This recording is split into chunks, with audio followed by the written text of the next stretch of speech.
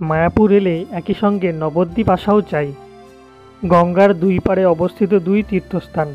আমরা প্রথমে মায়াপুর ঘাট থেকে টিকিট কাউন্টারে টিকিট কেটে নিলাম দশ টাকা মাথা পিছু তারপর লঞ্চে গিয়ে পৌঁছালাম। পকেট মার হইতে সাবধান থাকবেন। হরে কৃষ্ণ।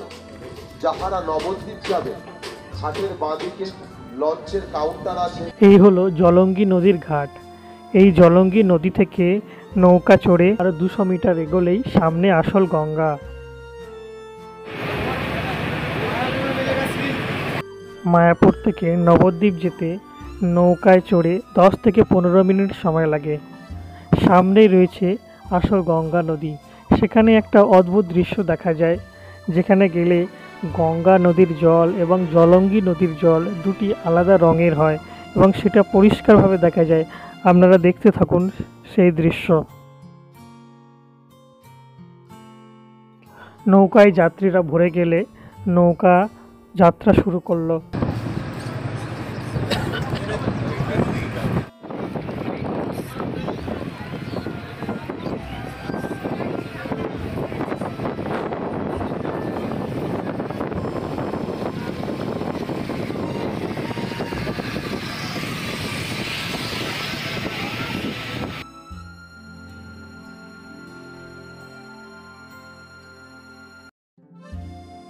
এই হলো গঙ্গা নদী ও জলঙ্গি নদীর সংযোগস্থল।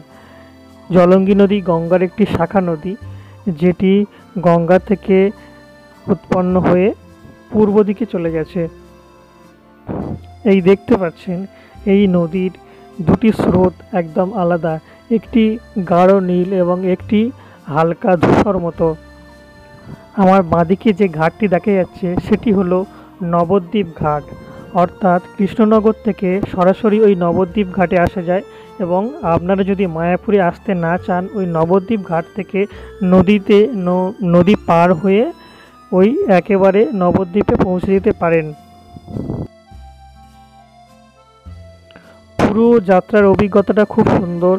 প্রতিটা যাত্রী এই যাত্রাটা উপভোগ করছিলেন। এখান থেকে সব থেকে সুন্দর দৃশ্য হলো মায়াপুর মন্দির। একদম নদীর মাঝখান থেকে মায়াপুর এর বিশাল কৃষ্ণ মন্দিরটা, চূড়াটা দেখা যায়, যা দেখতে ভীষণই সুন্দর লাগে।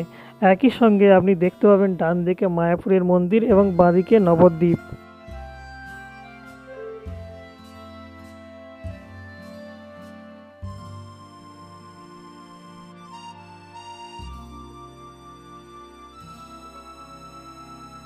দশ মিনিটের মধ্যে আমরা পৌঁছে গেলাম নবদ্বীপ।